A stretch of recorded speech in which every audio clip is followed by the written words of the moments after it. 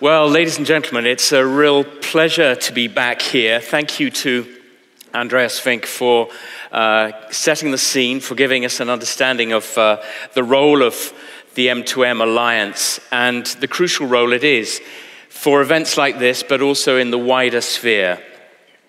It's a real pleasure for me to be back here at one of my favorite events. Every year, this event generates more talk and more discussion, more ideas, and uh, I'm delighted to have been asked back by the uh, organizers. So thank you to them.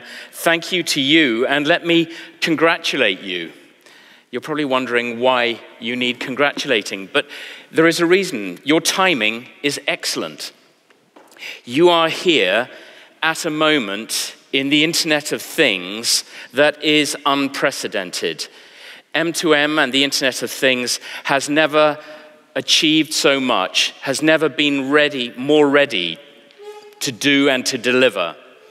So, what we have over the next couple of days is the opportunity to find out about not only the challenges and the obstacles that are in the way, but to meet some of the people that will help you overcome those obstacles in your own individual business. This is your opportunity to network like crazy. And also, as Andreas has pointed out, network to the wider world. Make sure that uh, people know uh, the kind of discussions that we're having over the next couple of days. Discussions about standardization, discussions about ecosystems and partners. I mean, that's what this is all about getting together and partnering because nobody can do it all. We'll also be talking about rationalization and about the changes in the market. There's an enormous amount of change happening, and it's only by keeping in touch with what's going on at your colleagues and your competitors that you can stay focused and be alert to the threats that there may be to your business and the opportunities you can pick up. And also, we'll be talking about services. Standardization, it's been talked about for so long. Well, I've got some good news for you. It's actually here in 2016. We have been waiting for years for the arrival of standards from the likes of the Open Mobile Alliance, from 3GPP, the organization behind the mobile phone standards, and from oneM2M that body that brings together so many different standards organizations and certification bodies from around the world. And the really good news is that 2016 is proving to be the year when these standards are starting to be rolled out to the market. We can all start to use them. Later this morning, we'll be discussing in a panel exactly what that could mean for your business. So don't miss that. We've got an absolutely spectacular panel for that, as we have for security and the industrial internet. But I mentioned earlier that ecosystems and partnerships are exciting. Ecosystem sounds such a dry word, it sounds so boring. But it is actually the glue that makes this industry possible. It brings everybody together. Because if you talk to all the biggest organizations, the IBMs, the Ciscos, the SAPs of this world, you'll find that even they are ready to admit that no way can they do all of this in the Internet of Things and M2M themselves. They need to work with partners. So let's get past the words. Let's look at what it can actually bring us.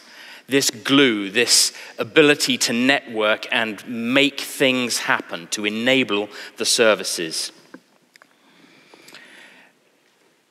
We've talked about rationalization, and if you want to know how fast this industry is changing, just go and have a look at our website, www iot-now.com.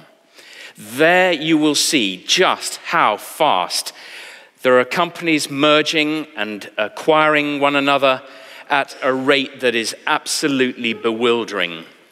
And every time I think I've got the latest story up, I turn around, or my colleagues turn around, and we find there's another story to write about. Syncsort has acquired Cogito. CompuCom took on Extensys' IoT business. ScanSource acquired Intelisys. This was all just in August. There was Speedcast with Wins, and Verizon bought Fleetmatics.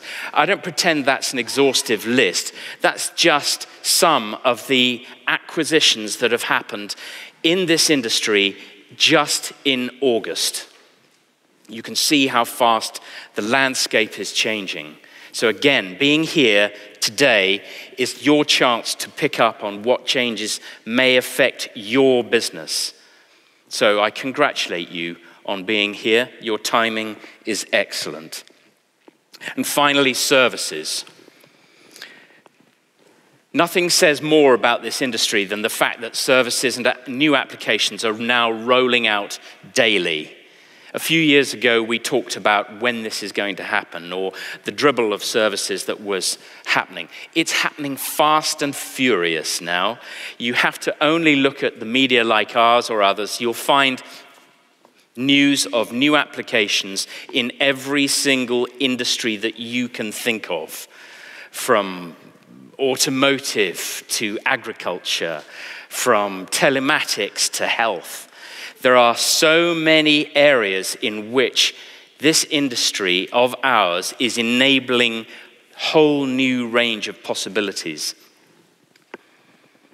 So, you you're convinced already, you've come along from the most exciting event in the calendar.